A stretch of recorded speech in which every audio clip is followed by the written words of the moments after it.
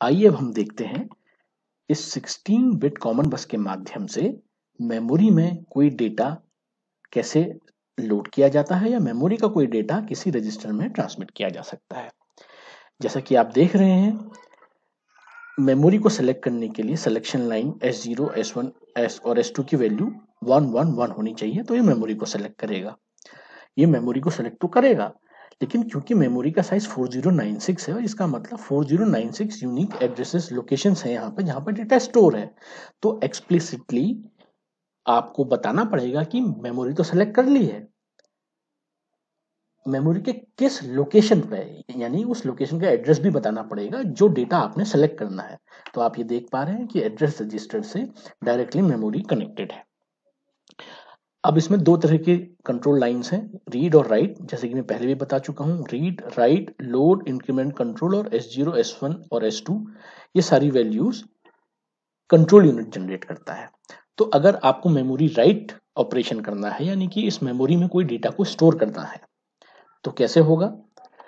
मान लीजिए data register में कोई डेटा है, उसे आपने इस मेमोरी में स्टोर करना है। तो आपको दो चीज़ बतानी पड़ेगी। पहले तो वो डेटा और दूसरा उसको मेमोरी में किस लोकेशन में स्टोर करना है? जैसा कि हम जानते हैं कि अगर डेटा रजिस्टर्ड सोर्स है तो इसको आप S zero S one S two source को सेलेक्ट करेंगे। सोर्स की वैल्यू ज़ीरो वन वन जब होगी S zero S one S two S one और एस ज़ीरो की वैल्यू जब ज़ीरो वन वन होगी तो अपने आप ही डेटा रजिस्टर सेलेक्ट हो जाएगा, यानी सेलेक्ट हो गया तो इसका मतलब इसके कंटेंट 16 बिट कॉमन बस में आ गए। अब कंट्रोल यूनिट राइट सिग्नल को इनेबल करेगा। तो ये जो मेमोरी के कंटेंट है, ये 16 बिट बस के कंटेंट है मेमोरी में स्टोर होने को तैयार है। लेकिन साथ में आपको ये भी बताना पड़ेगा कि मेमोरी में किस लोकेशन में स्टोर करना है। तो एड्रेस रजिस्टर में वो एड्रेस पहले से ही स्टोर्ड है। इसलिए एड्रेस लाइन आप यहाँ से देख रहे हैं एड्रेस रजिस्टर से एक लाइन जा रही है मेमोरी में। तो एड्रेस रजिस्टर से हम एड्रेस बताएँगे और डेटा यहाँ से डेटा रजिस्टर के सिक्सटीन बिट कॉमन मस के थ्रू यहाँ आएगा और राइट सिग्नल जैसे ही इनेबल होगा मेमोरी में उस लोकेशन वो डेटा स्टोर हो जाएगा। इसी प्रकार अगर आपको मेमोरी से कोई डेटा माना डेटा रजिस्टर में ट्रांसमिट करना है तो तरीका वही है। सिलेक्शन लाइंस मेमोरी को सेलेक्ट करेंगी।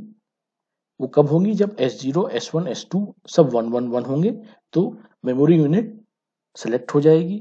अब ऑपरेशन क्या है? रीड तो ये रीड लाइन इनेबल होगी साथ में। और मेमोरी के किस लोकेशन का डेटा ट्रांसमिट करना है, वो ये एड्रेस रजिस्टर बताएगा। तो ये एड्रेस रजिस्टर से एक लाइन जा रही है मेमोरी में, यहाँ से एड्रेस जाएगा। और उस लोकेशन के कंटेंट जो जो जो इस एड्रेस में बताए गए हैं, उस लोकेशन के कंटेंट इस 16 बिट कॉमन बस में आ जाएँगे।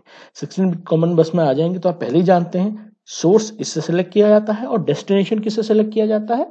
डेस्टिनेशन सेलेक्ट किया जाता है लोड सिग्नल से। तो जिस भी रजिस्टर को, जो भी रजिस्टर्ड डेस्टिनेशन रजिस्टर है, उसका लोड सिग्नल वन होगा। तो 16 बिट कॉमन बस के कंटेंट उस रजिस्टर में लोड हो जाएँगे।